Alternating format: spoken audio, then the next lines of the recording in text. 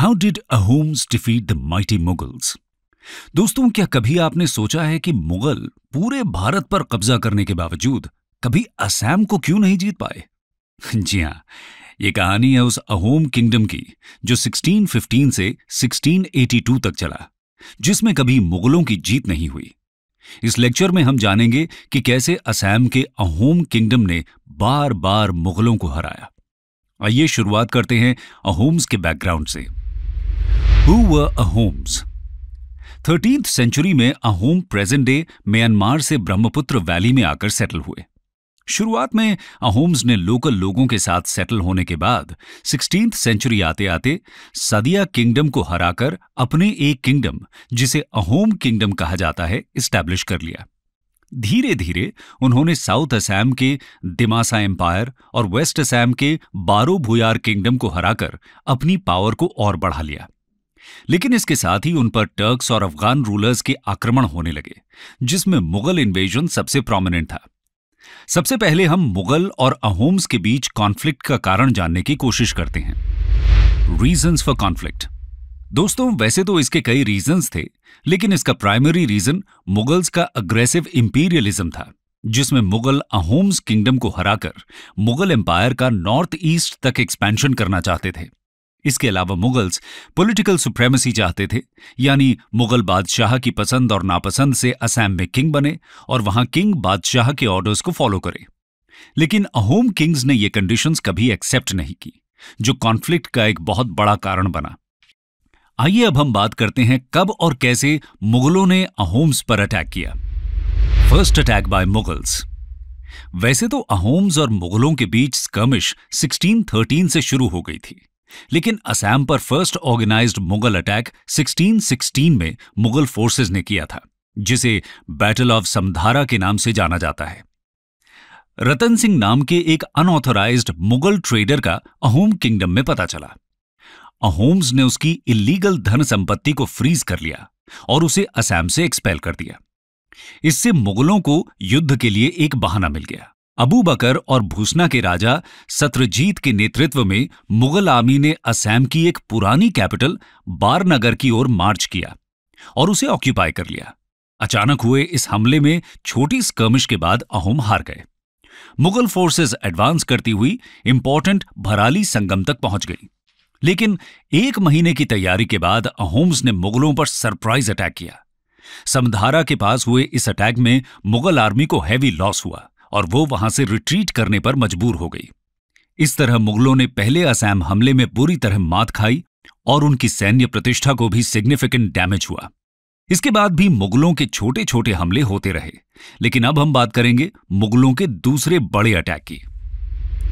Second major attack on Ahoms पहली हार से 20 साल तक शांत रहने के बाद एक बार फिर से 1636 में मुगल सेना ने असम के कामरूप पर अटैक करके युद्ध की शुरुआत की। इसमें शुरुआत में अहोम्स की हार हुई और अहोम किंगडम को मुगल एम्पायर में मिला लिया गया। लेकिन 1638 आते आते फिर से पासा पलट गया और एक बेहतरीन तैयारी के साथ अहोम्स ने वापसी की। समधारा के पास एक बार फिर से भयंकर युद्ध हुआ। इसमें अहोम के नेवी चीफ की मौत हो गई, लेकिन अहोम्स ने ब्रेवरी से एक बार फिर से मुगल आर्मी को असम से बाहर खदेड़ दिया। इस युद्ध में दोनों ही पक्षों को भारी फाइनेंशियल और ह्यूमन लॉस हुआ, जिसकी वजह से दोनों पक्ष पीस ट्रीटी करने पर अग्री हुए। ये पीस ट्रीटी फरवरी 1639 में मुगल कमांडर अल्लाह यार खान और अहोम जनरल मोमाई तामुली बोरबरुआ के बीच हुई। इसे ट्रीटी ऑफ़ असुरार के नाम से जानते हैं। इस ट्रीटी के तहत मुगलों ने अहोम किंग की इंडिपेंडेंस को एक्सेप्ट किया। गुवाहाटी से शुरू होने वाला वेस्टर्न असम मुगलों के हाथों चला गया, लेकिन उन्हें बाकी बचे हुए असम पर अपना किसी भी तरह का क्लेम छोड़ना पड़ा। दोनों पक्षों में ट्रेड बिना किसी रुकावट के होने लगा। लेकिन दोनों ही पक्षों ने इस ट्रीटी को स्ट्रिक्टली फॉलो नहीं किया और छोटी छोटी स्कमिशेस चलती रहीं। आइए अब हम बात करते हैं तीसरे बड़े कॉन्फ्लिक्ट की। Third major attack on Ahoms दोस्तों 1648 में गुवाहाटी के मुगल कमांडर ने अहोम के न्यूली अपॉइंटेड किंग जय ध्वज को बधाई संदेश भेजा। लेकिन जयध्वज ने बादशाह शाहजहां की बीमारी और मुगल एम्पायर के वॉर ऑफ़ सक्सेशन का फ़ायदा उठाकर मुगलों को न केवल गुवाहाटी से खदेड़ दिया, बल्कि मानस रिवर के पार तक उनका पीछा किया। उन्होंने मुगलों के ढाका के आसपास के क्षेत्र को भी तबाह और बर्बाद कर दिया। वापस जाते जाते वो कई मुगल सोल्जर्स को अपने साथ बंदी बनाकर असैम ले गए। लेकिन वॉर ऑफ़ सक्सेशन जीतने के बाद औरंगज़ेब ने मीर जुमला को असैम पर अटैक करने और पूर्वी भारत में मुगल प्रेस्टीज को फिर से स्थापित करने का आदेश दिया। मीर जुमला ने 1662 की शुरुआत में असैम पर अटैक कर दिया। उसने गुवाहाटी और मानस को बहुत आसानी से ऑक्यूपाई कर लिया।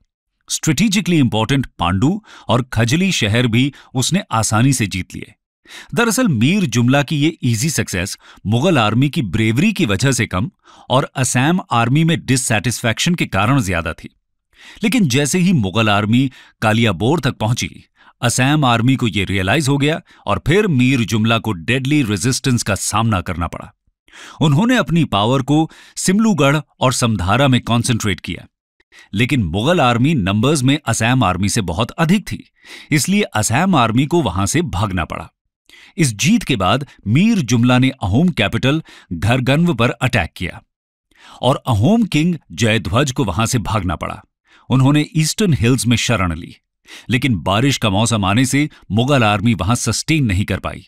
भारी बारिश और रिवर्स में फ्लड की वजह से मुगलों की आर्मी बेस ढाका और मीर जुमला की आर्मी के बीच कम्युनिकेशन एकदम कट गया। यही समय था जब मौसम का फ़ायदा उठाते हुए अहोम्स ने मुगल आर्मी पर अटैक कर दिया। अहोम्स ने बड़ी तेज़ी से एक बार फिर से ईस्टर्न असैम पर वापस अपना कब्जा कर लिया। मुगल कैंप में एक सीरियस महामारी फैल गई, जिसमें कई मुगल सोल्जर्स बिना किसी हमले के मारे गए। लेकिन सितंबर तक बारिश खत्म होने से वापस मुगल आर्मी का ढाका बेस से कांटेक्ट हो गया। मुगल आर्मी ने एक बार फिर अहोम्स पर अटैक किया और इस बार किंग जयध्वज को पीस ट्रीटी करने पर मजबूर कर दिया। 1663 में treaty of Ghilari Ghat sign की गई, जिसमें अहोम किंग जयध्वज को मीर जुमला ने तीन लाख रुपए वॉर कॉम्पनसेशन और अपनी इकलौती बेटी को मुगल हैरम में देने के लिए मजबूर कर दिया। लेकिन इसी दौरान जयध्वज की मौत हो गई। जयध्वज की मौत के बाद क्या हुआ? आइए जानते हैं नेक्स्ट सेक्शन में। What happened after the death of Jayadhwaj? पहली इंस्टॉलमेंट जयध्वज ने मुगलों को दे दी, लेकिन जयध्वज के सक्सेसर चक्रध्वज ने ट्रीटी में डिसाइड हुए कॉम्पनसेशन को देने से इनकार कर दिया। 1665 में गुवाहाटी में मुगल फौजदार सैयद फिरोज खान ने अहोम किंग को जब बचे हुए कॉम्पनसेशन के लिए लेटर लिखा तो किंग चक्रध्वज ने मुगल आर्मी को असम से बाहर खदेड़ने का आदेश दे दिया और एक बार फिर युद्ध की शुरुआत हो गई। ये चौथा बड़ा अटैक था।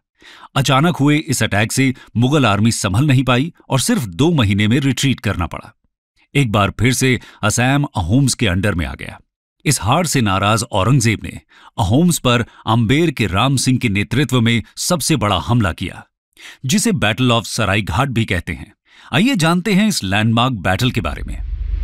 बैटल ऑफ़ सराई घाट। 1671 में औरंगज़ेब ने मसले को हमेशा के लिए खत्म करने के लिए अंबेर के राजा मिर्ज़ा जय सिंह के बेटे राम सिंह के नेतृत्व में एक बहुत बड़ी आर्मी भेजी। ये आर्मी संख्या में कितनी बड़ी थी, इसका अंदाज़ा हम इस बात से लगा सकते हैं कि इसमें चार हजारी मनसबदारी राम सिंह के चार हज़ार सैनिक, पंद्रह सौ औरंगज़ेब की ओर से दिए गए एडिशनल सैनिक, अट्ठारह हज़ार घोड़े पर सवार सैनिक, तीस हज़ार पैदल सैनिक, दो हज़ार आर्चर सैनिक, इक्कीस राजपूत ठाकुरों की सैन्य टुकड़ियाँ और चालीस वॉरशिप्स शामिल थे। इसके अलावा कूच बिहार मुगलों की एक जागीर थी। ये असैम के बहुत करीब है। इसलिए वहाँ से भी लगभग 10 से पंद्रह हज़ार पैदल और घुड़सवार सैनिकों ने मुगल आर्मी को ज्वाइन किया। टोटल संख्या अब लगभग पिछहत्तर हज़ार से अस्सी हज़ार हो चुकी थी। इतनी बड़ी आर्मी के सामने कम संख्या की अहोम आर्मी टिक नहीं पा रही थी। तब अहोम्स के chief commander Lachit bore Phukan ने फुल स्केल वॉर के बजाय गोरिल्ला वॉरफेयर की स्ट्रैटेजी बनाई। लचित बोर फुकन ने गुवाहाटी डिफेंड करने का निर्णय लिया। यहाँ एक हिली एरिया था। जहाँ से मुगल आर्मी एंटर कर सकती थी। इस एरिया में लचित ने मिट्टी की दीवार बना दी और मुगल आर्मी को ब्रह्मपुत्रा का वाटरवे चूज़ करने के लिए मजबूर कर दिया। लचित ये जानते थे कि मुगलों की नेवी बहुत वीक है और उसे पानी में युद्ध का एक्सपीरियंस भी नहीं है और गुवाहाटी में दीवार के बाद ईस्ट में जाने का एकमात्र रूट ब्रह्मपुत्र नदी ही बचा था। सराई घाट में ब्रह्मपुत्र रिवर बहुत अधिक नैरो थी। जिसकी विड्थ लगभग एक किलोमीटर से भी कम थी।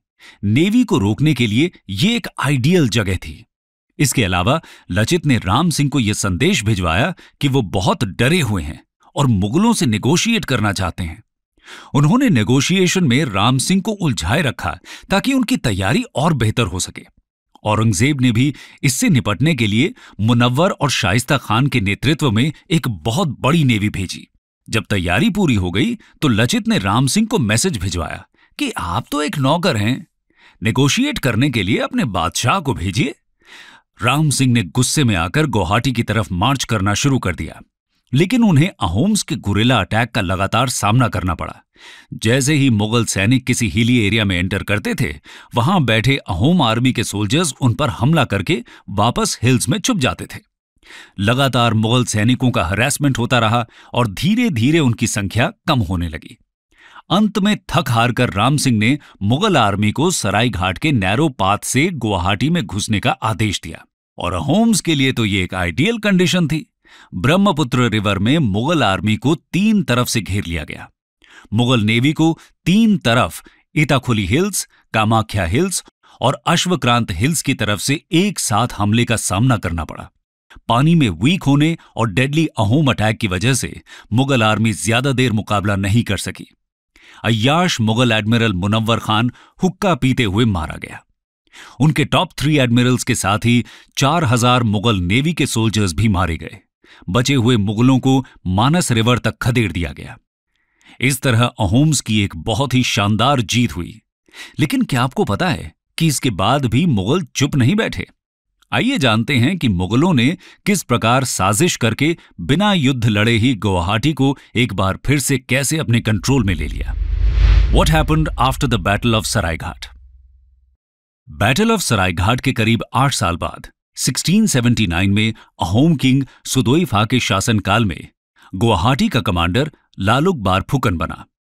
बंगाल के मुगल सूबेदार मोहम्मद आज़म खान ने उसे सरायघाट के बदले में चार लाख रुपए घूस ऑफ़र की। साथ ही आज़म ने असैम की गद्दी पर लालुक बार फुकन को बैठाने का भी प्रॉमिस कर दिया। लालच में आकर लालुक ने सरायघाट पर कब्जा करने के लिए आज़म शाह को इनवाइट किया। और इस तरह बहुत आसानी से एक बार फिर से गुवाहाटी मुगलों के कब्जे में आ चुका था। लेकिन कहानी अभी बाकी है मेरे दोस्त। इसके बाद मुगलों और अहोम्स के बीच अंतिम युद्ध हुआ, जिसमें हारने के बाद फिर कभी मुगलों ने असम की ओर देखने का दुस्साहस नहीं किया। आइए बात करते हैं बैटल ऑफ़ इताखुली की। बैटल ऑफ़ इताखुली 1681 में गदाधर सिंह अहोम किंग बने। उन्होंने मार्च 1682 से ही मुगलों को गुवाहाटी से खदेड़ने के लिए युद्ध की तैयारी शुरू कर दी। दिहिंगिया अलून बारबरुआ के नेतृत्व में जून और जुलाई महीने में गुवाहाटी पर तीन तरफ़ से हमला करने का प्लान बनाया गया। गुवाहाटी पर ब्रह्मपुत्र नदी के नॉर्थ बैंक, साउथ बैंक और नदी के पानी में नेवी से अटैक किया गया। लेकिन इस बार मुगल कोई खास रेजिस्टेंस नहीं दिखा पाए। उसके कई कारण थे, जैसे औरंगज़ेब का मराठों के साथ डेकन में एंगेज होना, गुवाहाटी के फौजदार मंसूर खान का बीमार होना बंगाल में मुगलों का ईस्ट इंडिया कंपनी के साथ डिस्प्यूट। इन कारणों से ज़्यादातर पोस्ट से मुगल बिना किसी रेजिस्टेंस के ही रिट्रीट कर गए। एकमात्र युद्ध इताखुली में लड़ा गया, जिसे बैटल ऑफ़ इताखुली के नाम से जाना जाता है। मुगल जनरल अली अकबर ने सरानिया फोर्ट पर अटैक कर दिया, लेकिन इसमें उसे भारी नुकसान के बाद रिट्रीट करना पड़ा। सेवनटीन जुलाई 1682 को अहोम्स ने इताखोली को घेर लिया। मुगल सैनिकों ने रेजिस्टेंस किया, लेकिन वो हार को टाल नहीं सके। फिफ्टींथ अगस्त 1682 को इस युद्ध का अंत मुगल जनरल जयंत सिंह की हार और आत्मसमर्पण के साथ हुआ। मुगल फौजदार अकबर अली को रिट्रीट करके भागना पड़ा। इताकुली फॉल के साथ ही अहोम्स ने मानस नदी तक अपना कब्जा कर लिया। इसके बाद मुगलों ने कभी असैम की तरफ़ कोई अटैक नहीं किया।